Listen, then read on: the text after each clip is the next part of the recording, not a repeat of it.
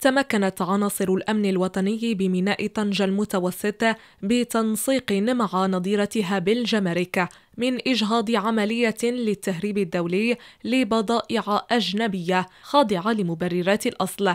تتمثل في 30410 وحدة من الاختبارات السريعة للكشف عن فيروس كورونا.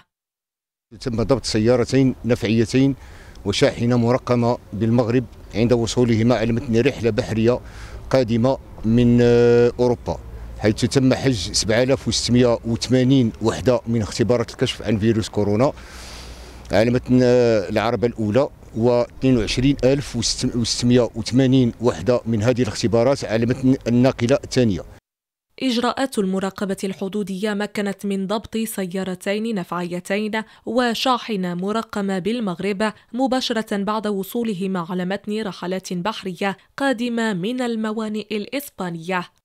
هذا وقد تم اخضاع سائقي هذه المركبات وهم جميعا من جنسية مغربية للبحث القضائي تحت إشراف النيابة العامة المختصة. ويأتي إحباط هذه العملية في سياق المجهودات التي تبذلها المصالح الأمنية المغربية لضمان الأمن الصحي لعموم المواطنات والمواطنين ورصد كل عمليات التهريب والترويج غير المشروع للمواد الطبية والصيدلانية وتلك المستعملة في الكشف عن فيروس كوفيد 19